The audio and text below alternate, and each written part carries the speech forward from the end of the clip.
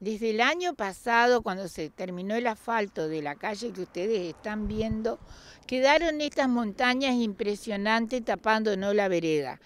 Ahora, en el verano, con el agravante que crecieron los yuyos, pueden observar lo alto de los yuyos y que los chicos quedaron sin vereda, completamente sin vereda. No tienen por dónde transitar toda esta cuadra de la escuela.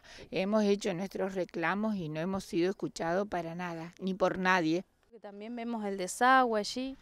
Sí, el desagüe fue un problema que no se terminó. Con el asfalto se terminó el problema de la zanja que, eh, donde anidaban víboras, de acuerdo a la cantidad de ratas que hay en el contenedor, que trae el contenedor porque no se recoge la basura todos los días. El contenedor siempre está lleno de basura. Eso hace que tengamos rata y por lo tanto que tuviéramos las víboras que teníamos con la zanja. Las víboras desaparecieron, la zanja se cerró, se hizo un hermoso asfalto, pero las montañas de tierra que debían sacarnos cuando cavaron la, calle para hacer el asfalto, no lo hicieron. Quedó por la mitad. Cuando reclamamos nos dijeron que era la otra empresa, que a ellos no les correspondía.